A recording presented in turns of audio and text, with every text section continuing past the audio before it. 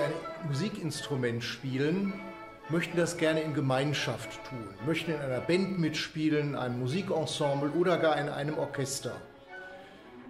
Wie beispielsweise unserem rheinischen Orchester hier in Duisburg.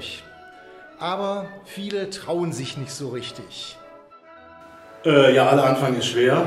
Man muss, ähm, wie man auch schon vermuten kann, viel ähm, Luft investieren, um das Fagott äh, auch richtig spielen zu können. Und also ich würde nach zwei Jahren äh, Spieldauer erst empfehlen, in einem Orchester beizutreten, äh, weil ohne eine gewissen ähm, Basiskompetenz, sage ich mal, geht es nicht.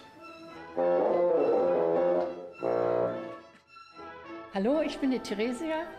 Ja, ich bin hier in diesem Orchester schon ganz lange, schon seit 50 Jahren. Beim 50. war ich schon dabei. Ich spiele Bratsche und als ich hier reinkam, konnte ich nichts, also fast nichts, muss ich sagen. Ich war ganz blutige Anfängerin und trotzdem ist man gut aufgenommen worden. Alle werden hier gut aufgenommen. Es macht wirklich Spaß, da hier mitzuspielen. Hallo, der Wolfgang bin ich. Ich spiele das erste Cello, bin so seit ungefähr 12 bis 15 Jahren im Orchester. Ich weiß es tatsächlich gar nicht mehr. Immer aus Düsseldorf, fröhlich angereist. Egal wie viel Lust ich habe, ich überwinde mich dann fast immer zur Probe zu kommen.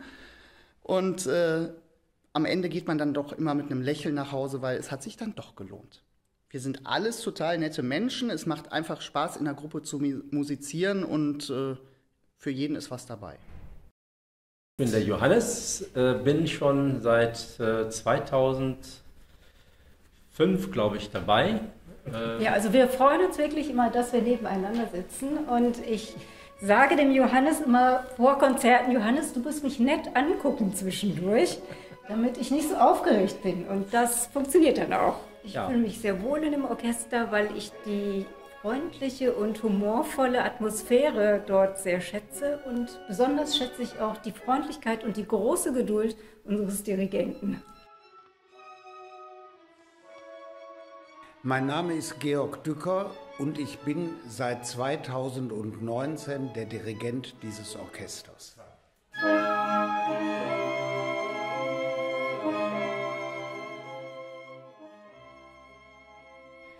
Meine Spezialität ist es eigentlich, dass ich etwas erzähle.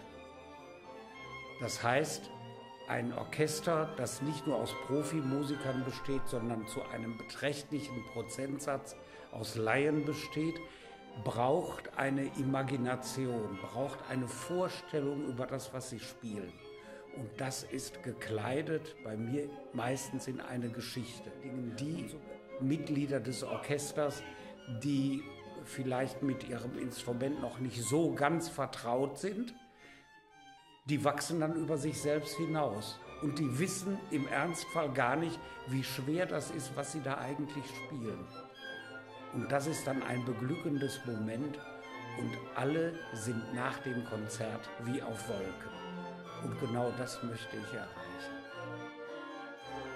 Ich hatte lange Zeit überlegt, wie ich denn mein Geigespielen mir bewahren kann. Und alleine zu Hause üben ist vielleicht auf Dauer dann auch ein bisschen langweilig. Und da sagte meine Frau, geh doch mal in so ein Orchester rein. Und dann dachte ich mir, oh, erst auf der Arbeit, dann die Familie und dann noch zum Orchester, ob das klappt. Und es klappt. Und ähm, ich muss sagen, also es macht wirklich immer wieder sehr viel Freude, hier hinzukommen. Und es motiviert auch, gerade die Probenarbeit mit dem Herrn Dücker zusammen.